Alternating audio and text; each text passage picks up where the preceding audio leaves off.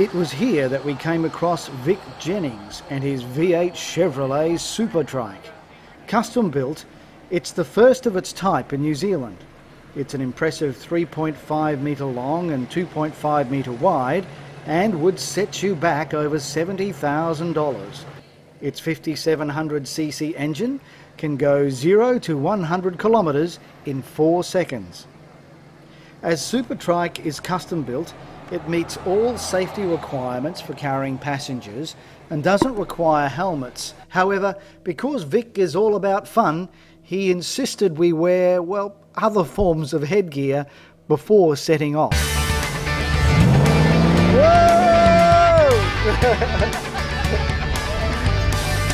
I've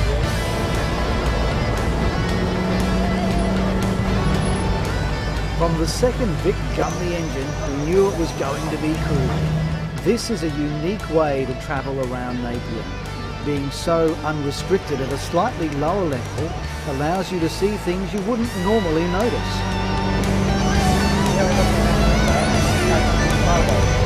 Oh yeah.